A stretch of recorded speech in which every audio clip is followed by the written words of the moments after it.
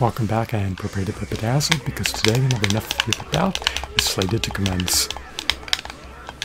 Who will prevail, who will falter, who will triumphant? Stay tuned and find out. I'll keep you abreast of the play-by-play. Today, the legendary, illustrious, revered, venerated, renowned, stoic, valiant, gallant, bold, audacious, Choji pitted up against nefarious, notorious, sinister, iniquitous, cunning, hostile, diabolical, malicious, malevolent, malignant, Jirobo.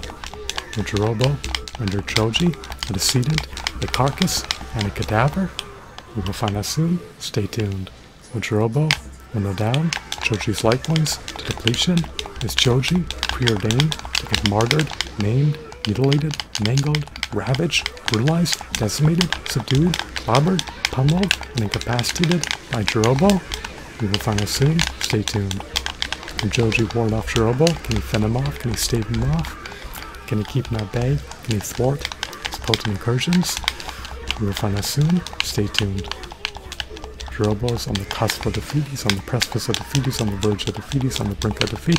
His victory prospects are bleak and dismal and infinitesimal. Jirobo make an upset? Will Choji perform the fatality? We will find out soon. Stay tuned. The end is nigh. Jirobo cannot surmount Choji in a tussle. Jirobo cannot overcome Choji in a brawl. Jirobo cannot outwit Choji in a battle. I hope that you're enthralled, bedazzled, outcaptivated, mesmerized, amused, lured, and fascinated. I hope that you're entrenched, not in a light epicness.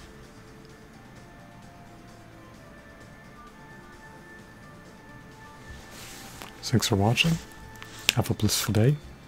Goodbye.